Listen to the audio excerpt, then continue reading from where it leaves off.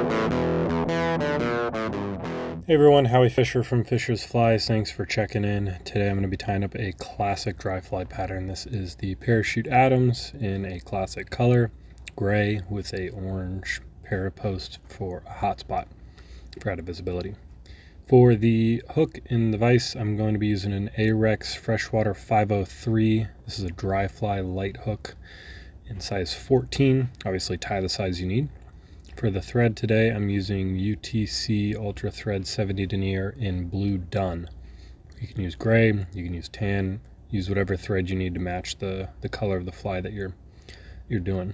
I'm gonna get started with my thread right behind the hook eye, and I'm gonna start taking my thread all the way back to the bend of the hook before snipping or breaking off my thread. Once I get my thread back to the bend of the hook, I'm going to grab my tailing material. Here I'm using CDL in white and black or grizzly. I'm going to go ahead and pull off about a dozen or so fibers for this size 14. If you're going smaller, you might want to go a little bit less, uh, really up to personal preference. Once I've got my tips aligned and my fibers in hand, I'm going to measure this tail about the length of the body. And then I'm going to transfer my fingers like this. I'm going to take two looser wraps to make sure that's secure and then make sure that those fibers are on top.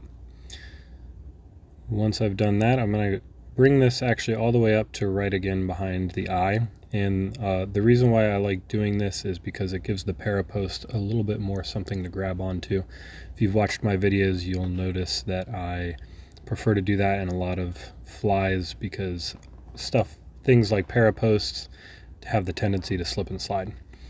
On this specific color, I'm using orange, fluorescent orange from Orvis. And a little tip that you can do is just add a little bit of super glue before adding your parapost. This will help it stay where it is and prevent it from sliding around the post or the shank of the hook. So what I'm going to do is I'm going to bring this underneath my hook actually and pull it straight up. I'm going to go ahead and take a couple wraps to get it just where I want it.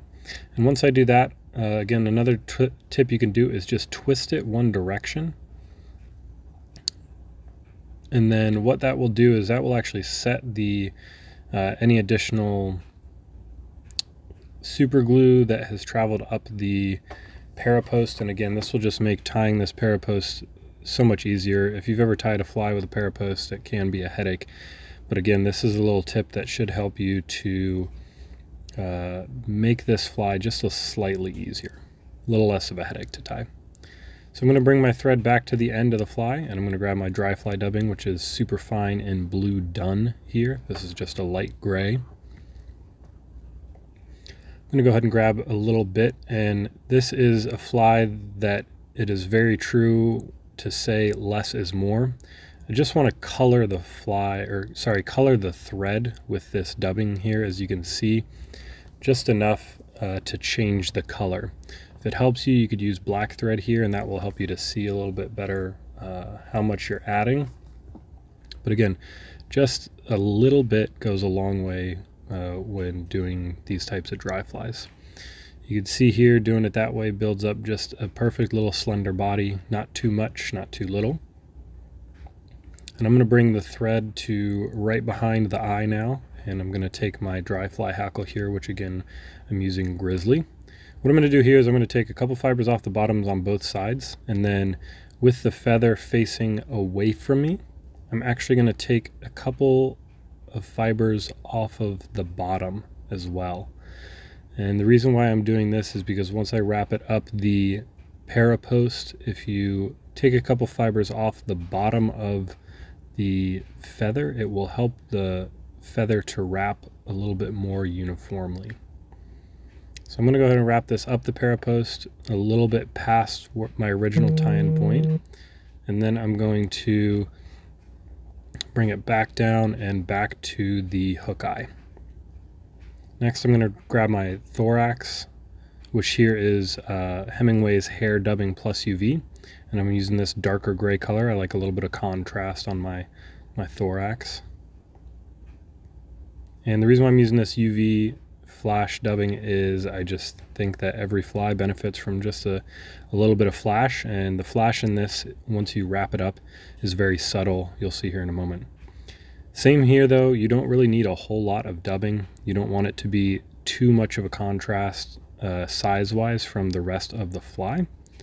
And just make sure you do some figure eighting wraps to try and cover up that parapost or whatever's left of it in the body so again, you can see I just built up the body slightly larger than the abdomen or the rest of the fly. Again, you don't want to build up anything too bulky. So now I'm going to reorient my hook and I'm going to wrap this with the hackle fibers facing upwards. So again, you can see here that when I wrap this hackle, because I pulled off those extra fibers off the bottom, it helps that to really ensure that the hackle fibers are facing upward. What this does is it really makes sure and really helps you to finish the fly. This will ensure when you wrap it this direction that you don't get any fibers facing downward. You don't get them sticking into the eye, preventing you from threading your tippet. Um, you don't have any issue with trapping extra fibers when you whip finish like you saw right there. Uh, just really helps, like I said, create a cleaner fly and helps finishing and fishing the fly. So I'm going to go ahead and whip finish like you saw and then snip off my thread and my feather. And then I'm going to go ahead and touch just a, a, little bit of UV resin to those thread wraps to that knot to make sure that that doesn't go anywhere. Lastly, I'm going to reorient my fly to the correct direction and snip off that parapost. Snip it to the length that you prefer. And there you have it. This is a classic dry fly, the Parachute Adams. Tie them up in different colors, fish them, let me know what you think. Thanks for checking in.